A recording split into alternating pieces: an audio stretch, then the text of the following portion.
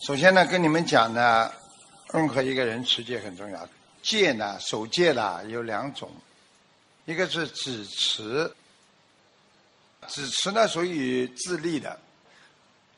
一个人能自己守戒的话，啊，对自己帮助很大，属于小乘。还有一种呢，叫坐持。坐持是什么呢？就是你必须要去做，你自己要做。把持住自己的手戒，你还要帮助别人，所以利他，帮助别人。所以，比方说，你今天看见一个人病倒了，或者这个人啊，比方说摔伤了，或者这个人他是有什么不好，你如果作为子持的话，我修自己，我自己管住自己，那么你这个就没错。就说我不动别人因果，你个人种因，个人得。你今天伤害自己了，或者你做错什么事情了，我修我的，我不动你因果，那么就是小乘修自己，把自己管好。那么作词呢，就是我必须要有所作为，我必须对别人要去帮助。你看见别人不管。如果看见别人了，看见别人在堕落，或者看见别人在做不好的事情啊，你不能不管，叫作持。这个守戒呢，就是说，如果你不管的话，你就是犯戒了。大家听懂了吗？如果看见一个人做坏事，你不管，你犯戒了，这就叫作持。所以我们学佛的人呐，不但要管好自己，还要管别人，真的不容易的。很多人说，等我修好了再去管别人，你这辈子解决不了这个问题的，你不可能这辈子能修好再去管别人，很难的，所以要靠自己的功德，功德越大，你就会受到菩萨的护念，照顾你。所以你去看，整天忙于在外面做功德的人，他的孩子很出色、很优秀，为什么？菩萨在照顾他家里啊。啊，我们有很多佛友根本英文都不会的，他的孩子成绩啊各方面都考得很好，妈妈很多都不懂的嘛，爸爸也不懂，所以像这些就是我们说要靠菩萨的啊护持，经常念经的人，你会在你的身体上会涌现出一种光芒，当你有光芒的时候，那么菩萨就很容易帮助你了，因为你走到哪里有一团光到哪里。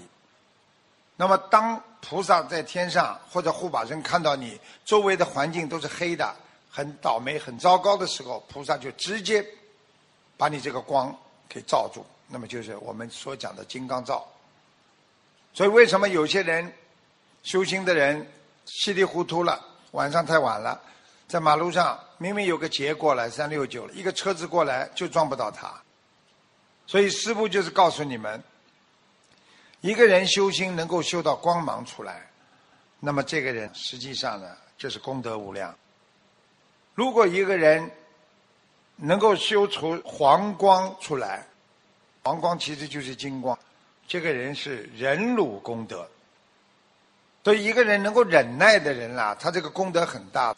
你看忍耐的人得平安，你们知道吗？你家里忍耐一下得平安，你跟孩子忍耐一下。你家里也保平安，你跟外面单位里老板忍耐一下，你在单位里一直可以干下去。不跟别人吵，不跟别人闹，你一直在忍辱的话，比守苦戒更要高不知道多少，就是境界不知道高多少。所以一个人守苦戒，我吃苦啊，我劳动啊，我擦地板呐，不如守忍辱功德。所以，一个人能够忍耐的人，他是一个有修养的人，他能够得到别人尊敬的。你看，在社会上，一个人不能忍耐，一碰就跳，一碰就跳。你说这种人，你说谁尊重他，谁喜欢他？最主要，一碰就跳的人是有妄念，他心乱了，他妄念就出来了。所以，一个人心不能乱，妄念不能有。当你真正的想开想通了，你的真如本性就出来了。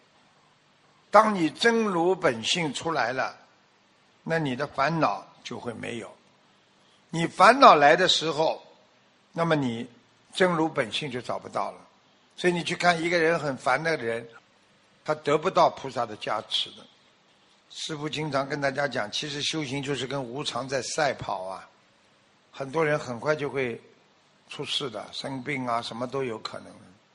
好好的抓紧时间修心，等到该出事的时候，他就不出了。大事化小，小事化无，这是跟无常赛跑。啊，所以等到大限来临的时候，我们都要做好思想准备。那么佛弟子呢，应该将平等不二，一个人一心一意能做成所有的事情，一个人这个做做那个做做。那你就做不成事情。所以佛教里面讲平等不二，因为在你的身心修持当中，你的日用当中，你要使自己的妙法要因佛性而成佛，因为有佛性了，你才能成佛；因为你一心一意了，你才能成佛；因为你完全懂得生活就是修心。生活嘛，就是六波罗蜜呀，忍耐叫忍辱波罗蜜呀，天天很努力修行念经，早上这么早起来嘛，精进波罗蜜呀，都是波罗蜜呀。大凡聪明之人呐，即是悟事，就是凡是好像很聪明的人，实际上啦，他就是悟事之人啦，非常的悟事，就很容易把事情耽误的。你去看好了，这个人好像很聪明，其实把很多事情都耽误掉了。啊，实相就是误事了。何以故？为什么呢？唯其聪明生意见。你去看，这个人不以为自己很聪明，他就好好的干活了，好好的做事情了，他就不会做错事情了。为什么他们那些人会做错事情呢？觉得自己很聪明啊！我要这样做，我要那样做。唯其聪明生意见，接下来意见一生，便坚持之，就是我坚持，我意见生出来之后，我就坚持，哎，不肯换。你去看好了，凡是自作聪明的人，哎呀，肯定好的，肯定好。人家跟他说不行，他意见一生出来，马上就坚持，哎，肯定好，肯定好，而且且不忍割舍。你去看。自以为聪明的人，只要讲出意见来，他不肯割舍的，他不肯放弃的。因为我讲出来了，我死要面子，且不忍割舍。这个世界上很多人很傻的，为什么他们会误事啊？因为啊，他们觉得他们自己很聪明，所以觉得很聪明的人就会生出不同的意见啊。他认为自己的意见一生出来，马上就坚持，坚持人家跟他说不好，他也不忍割舍。那么就是开始误事了呀！你们觉得过去你们有没有碰到这种人啦？明明是错的，因为他讲过了，他就不改，那对不对啊？很多爸爸妈妈也是这样的，孩子跟爸爸妈妈说：“啊，妈妈你不了解的什么？”我说我就是这样的。听其言必观其行，是取人之道。你这个人听别人讲话，你一定要看他的行为。如果这个人讲话跟他的行为都是一样的，那这个人是好人；如果这个人讲出来的话跟他的行为不一样，那么这个人就不是好人。所以是取人之道，就是说你能够认识这个人的一个方法。所以你不要听他讲，要看他做，他做出来的跟讲出来的是不是一样？念佛的时候，第一步要动静一如，动和安静都要一样。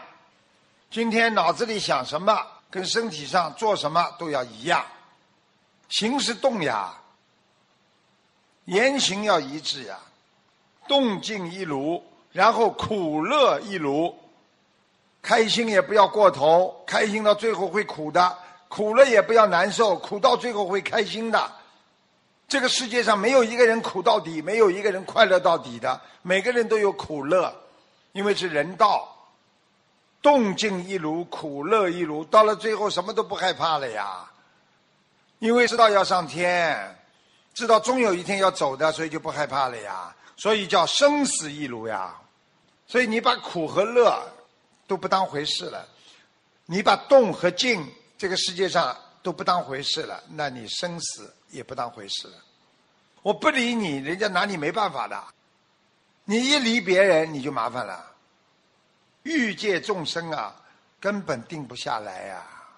他这个欲不是说天上的那个欲界天的欲啊，它是指我们人间有欲望的，人是定不下来的。